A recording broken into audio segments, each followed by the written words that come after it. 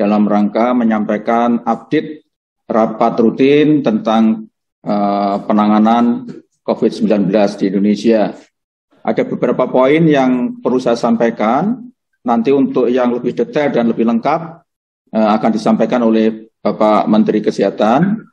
Uh, yang pertama yaitu walaupun penurunan penularan COVID-19 uh, sudah bagus, tetapi kita juga harus terus uh, waspada. Kemudian yang kedua, vaksinasi akan dipercepat dengan target Desember 2021 untuk dosis kedua di atas 60 persen. Ya. Kemudian prokes tetap dijaga untuk mencegah penularan, deteksi perjalanan luar negeri dan dalam negeri, kemudian PPKM harus harus deteksi lengkap dan sebisa mungkin dihindari penyekatan. Itu beberapa poin yang tadi dibacakan oleh Bapak Mansesnek sebagai bagian dari kesimpulan pertemuan pada pagi hari ini. Adapun poin yang lain, yaitu pertama, periode Nataru akan diantisipasi oleh seluruh kementerian dan lembaga terkait dengan mengupdate aturan-aturan yang diperlukan untuk mencegah penularan COVID-19 dan penyebarannya, di mana aturan tersebut adalah mengenai pergerakan orang, lokasi wisata, pertokoan, tempat peribadatan, dan lain-lainnya. Yang kedua, langkah tersebut ditetapkan diperkuat dengan vaksinasi dan penerapan protokol kesehatan, yaitu 3T, tracing, tracking, dan treatment. Yang ketiga, target vaksinasi Desember 2021 adalah 2 juta 291,6 juta, di mana 80,9 persen untuk dosis satu dan 59,1 persen untuk dosis kedua.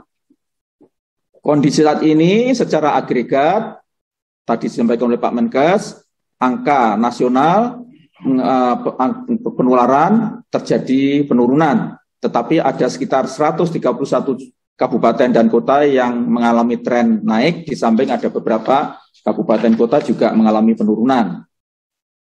Bali, Provinsi Bali menjadi perhatian khusus karena pada bulan Maret, Mei, dan sepanjang tahun 2022 ada acara-acara besar yang berskala internasional yang mengundang banyak pimpinan negara sahabat. Akan ada uji coba untuk acara internasional di Bali oleh Kemenkes, supaya pimpinan daerah agar mengantisipasi langkah-langkah yang diperlukan jika di daerah akan dilaksanakan acara-acara internasional.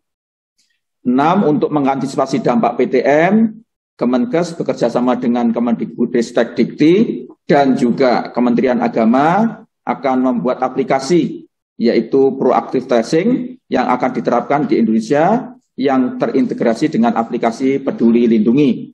Yang ketujuh, pelaksanaan vaksinasi untuk lansia tetap difokuskan. Untuk vaksinasi terhadap anak-anak akan dilaksanakan setelah ada izin dan diterapkan pada tahap awal di daerah yang sudah tinggi vaksinasi terhadap lansia. Kemudian untuk perjalanan eh, akan ada perubahan yaitu untuk wilayah eh, Jawa dan Bali perjalanan udara tidak lagi mengharuskan menggunakan eh, tes PCR tetapi cukup menggunakan tes antigen eh, sama dengan yang sudah diberlakukan untuk wilayah eh, luar Jawa non Bali. Ya sesuai dengan usulan dari Bapak Mendagri. Demikian beberapa poin yang bisa saya bacakan.